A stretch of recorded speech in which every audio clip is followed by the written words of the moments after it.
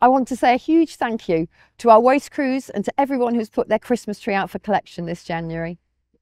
As a council, we worked hard to improve the service so that we collected trees more quickly and efficiently, as well as introducing local drop-off collection points on top of household collections. So far, we've collected more than 175 tonnes of real Christmas trees, which will be sent for composting and turned into agricultural fertiliser, part of our commitment to help protect the environment now and for generations to come.